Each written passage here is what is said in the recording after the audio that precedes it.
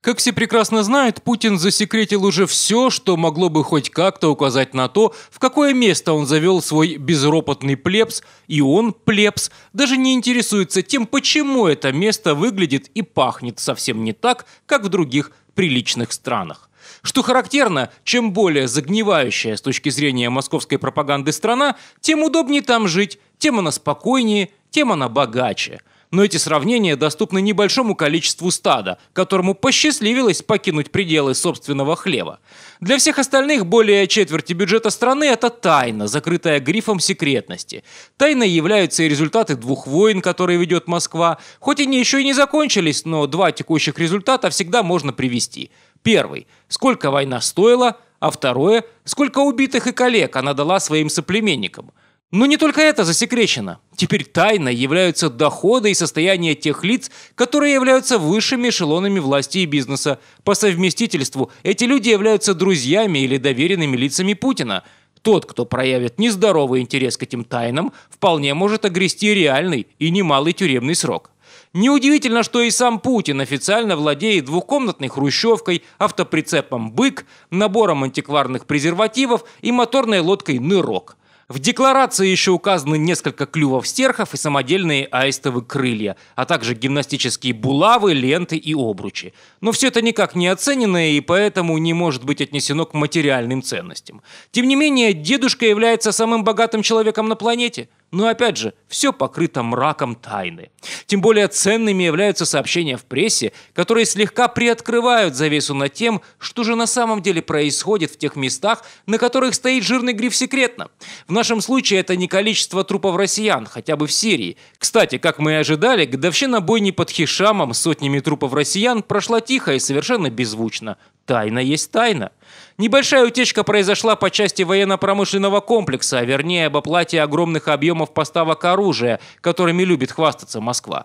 Так, российское представительство Райфайзенбанка, подводя итоги ушедшего года, провела аналитическое исследование тенденций и пришло к примерно такому выводу.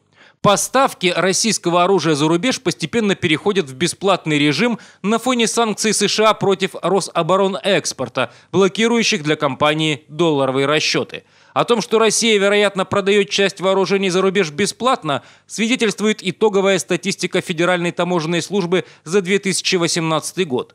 Или вот еще одна формулировочка этого же вывода. Существенный рост продаж машин и оборудования, особенно в совокупности с таким же существенным падением экспортной цены на них, выглядит необычно. Одно из возможных объяснений – передача техники, в частности военной, по низким ценам или бесплатно. Однако дальше банкиры пошли по пути, который освещает лишь часть, и не самую большую, обнаруженные ими проблемы. Они считают, что такое положение дел возникло вследствие санкций, под которые попал ряд предприятий оборонно-промышленного комплекса, и поэтому формулируют суть проблемы следующим образом – на начало 2018 года, по данным Госдепартамента, США удалось заблокировать 20% сделок Рособоронэкспорта на общую сумму 3 миллиарда долларов. В течение года ситуация ухудшилась. Индия, которая в 2000-х была крупнейшим покупателем российского оружия на мировом рынке, приостановила платежи Рособоронэкспорту по действующим контрактам и отказалась заключать новые, в том числе и на покупку истребителей систем С-400. Особенно весело выглядит пояснение того, как же неудачно сложились экспортные поставки в Индию. Процитируем. «Не удалось выручить ни цента от продажи в Индонезию 11 самолетов Су-35. Из-за санкций новейшие истребители, наиболее близкие к пятому поколению среди российских машин, пришлось обменять на партии пальмового масла, каучуковой крошки и другие индонезийские товары». Конец цитаты. На самом деле аналитика коснулась тех стран, которые платили, ну и в принципе могут платить за вооружение. Действительно, сейчас они разворачиваются от России в сторону других стран-поставщиков, особенно Индия. Если так можно сказать, Москва вошла в период окончательной потери платежеспособных рынков. Неудивительно, что Москва готова брать оплату древесиной кинзы и шкурками крабов, но это к делу не поможет. Но ведь Москва поставляет оружие тем странам, которые никогда не оплатят его по причине отсутствия денег. Например, Совок, а потом и Россия совокупно поставили Сирии оружие на 10 миллиардов долларов. Это пошло по всем отчетам, и Москва этот объем положила в свою общую статистику, равняясь причинным местом со Штатами. Но потом эта сумма была просто списана, как списана Кубе, Вьетнаму и еще десятку стран. То есть оружие поставлено, денег за него не пришло, суммы положены на безвозвратные убытки, и вот все это Москва называет торговлей оружием – Сейчас та же Сирия набралась оружия, по разным оценкам, на 5, а то и 7 миллиардов, и даже близко не видно, когда и чем она может за него заплатить. Ну а значит, эти суммы снова будут списаны. Куба тоже взяла на полмиллиарда долларов оружия в кредит и тоже его не отдаст. Правда, ходят упорные слухи о том, что списание долгов происходит за 10% отката лицам, принимающим решения за спинами, и все.